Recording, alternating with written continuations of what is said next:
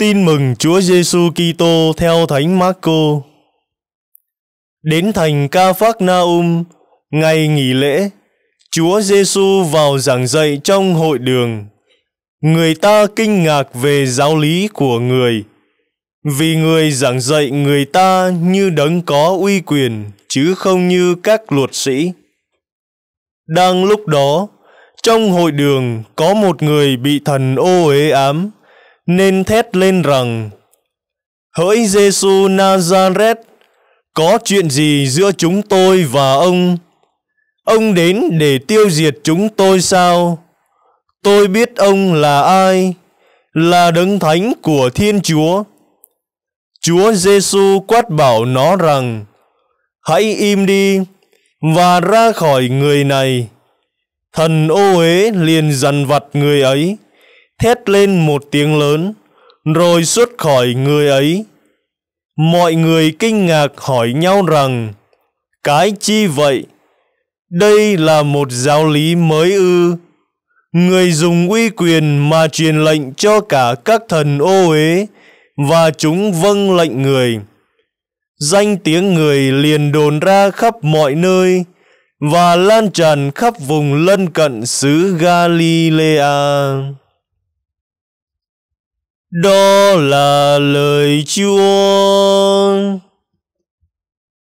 Lạy Chúa Kitô, ngợi khen Chúa. Kính thưa quý ông bà và anh chị em, Thánh Marco vừa mô tả cho chúng ta một dung mạo đặc biệt của Chúa Giêsu. Ngài xuất hiện giảng dạy như đấng có uy quyền và uy quyền đó được chứng thực trong việc làm cụ thể. Ra lệnh cho thần giữ, và thần giữ tuân theo tức khắc. Thông thường, thì Chúa Giêsu làm phép lạ khi có người đến xin Chúa. Nhưng trong trường hợp này, người bị quỷ ám không xin và cũng chưa có ai xin giúp nhưng chính Chúa đã có sáng kiến muốn chữa lành anh ta. Điều đó cho thấy sự hiện diện của Chúa luôn luôn là sự hiện diện có tác động giải phóng con người khỏi tùy thuộc vào sư giữ và thần giữ. Người bị quỷ ám là người sống dưới quyền lực của thần giữ. Hiểu như vậy, thì cả trong thời đại chúng ta, cũng còn nhiều người đang sống dưới quyền lực của sự giữ. Sống lệ thuộc vào thần giữ.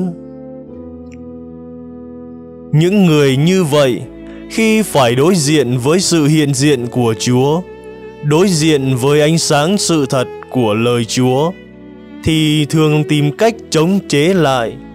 Giống như phản ứng của người quỷ ám hôm nay Thưa ông Giêsu, ông đến đây làm gì? Để tiêu diệt chúng tôi ư? Nhưng mặc kệ sự chống đối của họ, Ngài vẫn ra lệnh cho thần dữ ra khỏi người đó. Chúa không thể để cho thần dữ tung hoành trước sự hiện diện của Ngài. Mỗi người chúng ta ít nhất cũng bị thần dữ ám thần dư ám qua những thói hư tật xấu, qua những tội lỗi của chúng ta. Qua kinh thánh, chúa vẫn giảng dạy cho chúng ta. Qua bí tích giải tội, chúa vẫn trừ quỷ cho chúng ta. Xin chúa cho chúng ta biết tận dụng những phương tiện chúa ban để nên giống chúa hơn và làm sáng danh chúa nhiều hơn.